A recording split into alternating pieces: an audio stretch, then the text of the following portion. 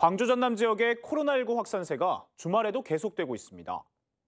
지역의 대형 교회가 새로운 감염원으로 떠오른 가운데 이제는 병상 부족마저 걱정해야 될 형편입니다.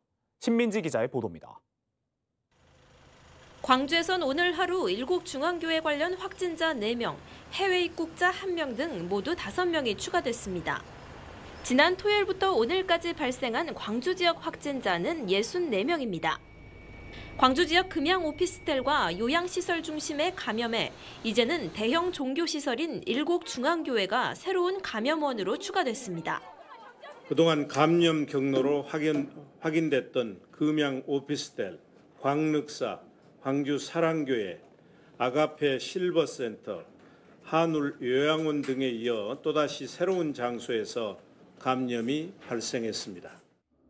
코로나19 확산이 계속되면서 이제는 병상 수를 걱정해야 될 상황입니다. 현재 광주 음압병상 17개 중 남아있는 곳은 2개뿐이고 빛고울 전남대병원의 병상도 2인 1실 사용과 추가 병상 확보에도 불구하고 20여 개밖에 남지 않았습니다. 오늘 새벽 양성 판정을 받은 4명을 강진의료원으로 옮기는 등 전남과 전북에 있는 의료 자원까지 활용하고 있습니다. 방역 당국은 이번 주말을 코로나19 확대의 최대 분수령으로 보고 종교 활동은 물론 결혼과 장례식장 등 참석을 최대한 자제해 줄 것을 권고했습니다. 노출됐거나 접촉된 사람이 더 이상 퍼지지 않도록 외출을 자제하고 자의 개인 위생 수칙을 지켜주는 것이 가장 중요합니다. 그래서 다시 한번 우리 시민들의 좀 그 현명한 그런 행동이나 좀 주의 이런 것을 당부드립니다.